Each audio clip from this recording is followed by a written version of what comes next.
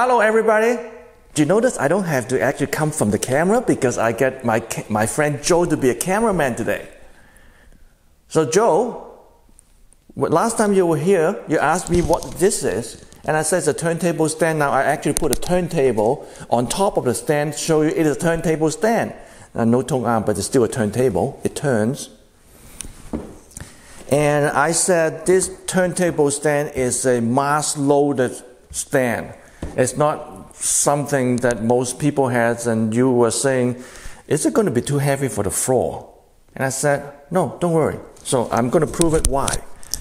So I have this, just a cover, and this turn, this stand is a cinder block stand in the middle filled completely filled with sand and gravel all the way down to earth down to the basement and it has a, a big piece of concrete attached to it and i'm going to prove it to you this thing doesn't touch the floor so we are going to see the wire when we go down to the basement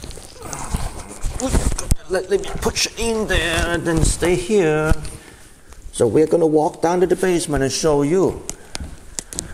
Don't trip over the wire now. I have to get a wireless microphone soon. What? You want me to spend money on non audio stuff? I'd rather buy capacitor than a wireless microphone.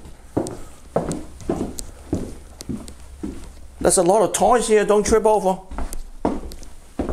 Wireless microphone won't help that either.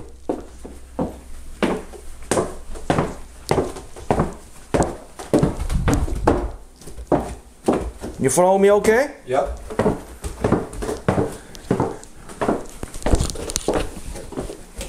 See, that's, uh, that's the column. That's the wire up there. So all the way down here, this is goes all the way attached to the concrete floor, attached to the basement concrete floor, and it has a 12 feet wide by 10 feet deep and two two and a half to three feet deep this way, concrete, and the rest of the floors are about 10 inch thick. But this part I actually have all the way up to about three feet deep. So this is a mass loading turntable stand. My friend Al Wiley actually suggested me to do this about 20 years ago when I moved in, when I have this barn, and I finally done it. So uh, did I explain to you in, to you about this stand enough? Yeah. Pretty wild. I I actually haven't used the stand. I just put a turntable there. Is everything is in progress in this toy house. I just moved in. I just moved in here on April first this year.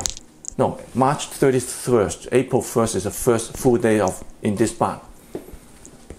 So until next time, stay safe Bye.